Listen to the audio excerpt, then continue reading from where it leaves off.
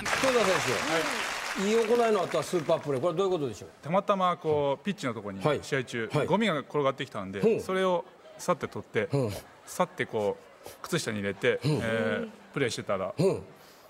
えーその試合はちょっと決めたんですかね？覚えてないですけど決めました。ね